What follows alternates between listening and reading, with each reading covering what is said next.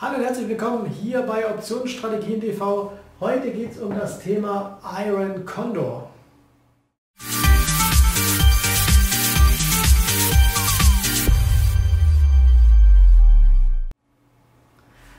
Ein Iron Condor, also ein eiserner äh, Kragen könnte man sagen oder ein eiserner Kanal. Es geht also nicht um den Kondor, um den Adler, wie es manchmal falsch übersetzt wird, sondern es geht darum, einen Kanal, der nicht durchbrochen werden kann, zu bilden. Was ist ein Iron Condor?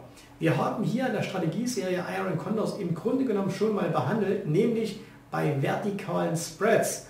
Und äh, wenn wir uns erinnern, vertikale Spreads, was war das jetzt gleich? Also wir haben hier die Wertentwicklung äh, oder irgendeine Aktie, ein ETF, ein Future, was auch immer. Und jetzt kann man ja sagen, okay, ich erwarte steigende Preise, verkauft einen Put und kauft zur Absicherung noch einen Put dazu. Und wenn man eher fallende Preise erwartet, könnte man sagen, ich verkaufe einen Call und kaufe zur Absicherung einen Call dazu. Und wenn man jetzt diese beiden vertikalen Spreads miteinander kombiniert, hat man schon einen Iron Condor. Also wie gesagt, relativ einfach, einen Bull Put Spread, einen Bear Call Spread und schon hat man einen Iron Condor. Wenn man sich das P&L-Diagramm anschauen würde, dann sieht das Ganze also so aus, dass wir sagen, okay, wir haben hier die Nulllinie, hier oben ist Gewinn, hier unten ist Verlust und hier ist der entsprechende Preis äh, des Underlyings und dann sieht ein Iron Condor eben so aus, dass man zwischen den hier am Short Put und am Short Call. Das sind also quasi die, die Eckpunkte, an denen wird Geld verdient. Und durch die Absicherung ist man dann aber unten an einem bestimmten Punkt safe. Das heißt also, mehr kann nicht passieren, weil wenn es hier nach unten geht oder auch wenn es hier nach oben gehen würde, ähm, es würde, das Ganze würde durchlaufen, dann wäre man eben an einem Punkt abgesichert. Vorteil ist natürlich, man hat ja auf beiden Seiten eine Prämieneinnahme, man muss nur einmal Margin bezahlen und erhöht natürlich dadurch auch die insgesamte Prämie, die man hier einnehmen kann. Deswegen eignen sich Iron Condors zum Beispiel sehr gut für all diejenigen, die sagen, Short Strangles sind mir etwas zu riskant durch die äh, Nicht-Abgesichertheit ja auf jeder Seite. So hat man also eine Absicherung auf jeden Fall noch mit dabei. Jetzt kann man Iron Condors ganz verschieden konstruieren. Also es gibt so Dinge wie äh, Low Probability Condors, High Probability Condors und das hat natürlich was damit zu tun, wie groß ist die Wahrscheinlichkeit, dass ich am Ende Geld verdiene. Aber man muss natürlich dann in Bezug setzen, wie groß ist auch die Prämie, die ich verdiene. Also wenn wir jetzt mal ein ganz einfaches Beispiel machen, wenn wir jetzt sagen, okay, das wäre jetzt hier ein Underline und eine andere Farbe dazu. Und wir sagen, dieses Underline würde jetzt hier irgendwie 100 Dollar kosten. Und jetzt würden wir sagen, im ersten, der erste Iron Condor, den setzen wir auf, indem wir sagen, wir verkaufen einen 120er Call und kaufen einen 130er Call. Und umgekehrt unten auf der gleichen Seite sagen wir, wir verkaufen 80er Put und kaufen einen 70er Put dazu. Dann, könnte, dann wäre das eben ganz normaler Iron Condor.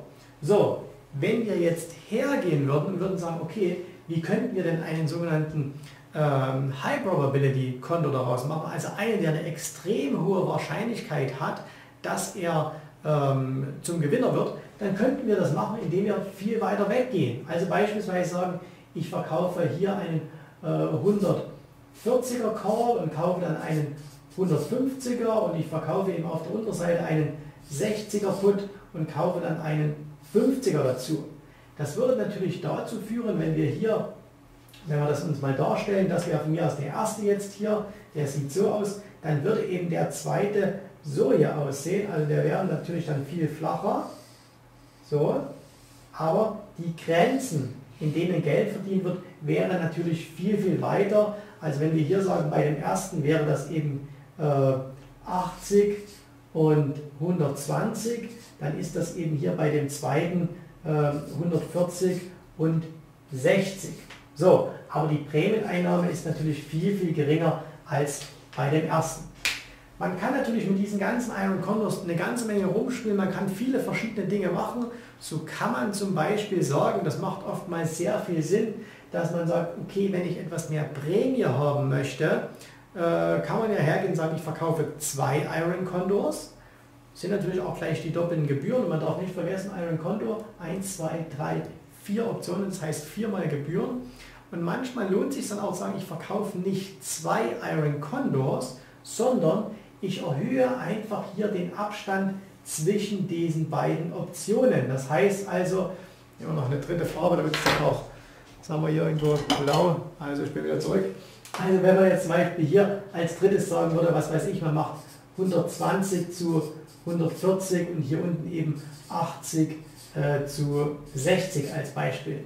So, dann würde man eben hier äh, die Prämien erhöhen, aber man würde natürlich auch das Risiko ein bisschen erhöhen. Das muss man für sich dann immer mal abschätzen, was dann das Beste ist, wie sich die ganzen Deltas entwickeln und äh, die ganzen ähm, Griechen überhaupt in, der, in diesem ganzen Trade. Wichtig ist natürlich, wie profitiert so ein Iron Condor am besten? Natürlich immer von einer Seitwärtsbewegung der Märkte und wenn die Volatilität optimalerweise noch runtergeht. Allerdings gibt es auch Strategien, äh, wo beispielsweise Indexprodukte, also der S&P oder der Russell, äh, mit Iron Condors gehandelt werden und zwar immer. Also wo man wirklich sehr weit entfernte Strikes aufsetzt, also hier diese, beid, diese zweite Variante, diese sogenannten ähm, High Probability Condors, sehr weit entfernte Strikes und die man dann äh, auch fast ohne Adjustierungen durchlaufen lässt. Natürlich wird es immer mal wieder zu, zu Extremtagen kommen, wo man dann Verluste macht oder Extremmonaten, wo man Verluste macht. Langfristig betrachtet ist das aber eine sehr, sehr gute Tradingstrategie, äh, mit der man gerade auch als Anfänger durchaus im Optionsbereich Geld verdienen kann.